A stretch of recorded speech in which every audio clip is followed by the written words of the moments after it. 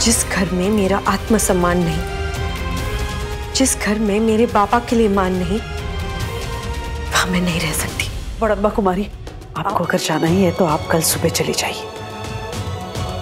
मैं तैयारी करवा देती हूँ आपको आपके पापा के पास। आपने इतने दिन मुझे अपने घर में शरण दी।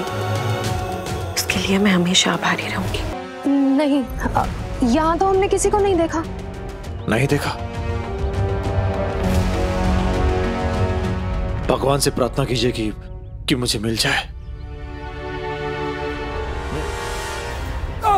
अरे पकड़ो। संभालो। पकड़ो इसे। संभाल के। क्या हुआ इन्हें? बख्शी जी!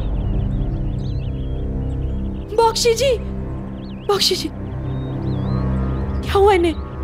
लाल बिच्छू ने डसा हुआ लगता है। बहुत है यहाँ पर। और इनका विष भी घातक है।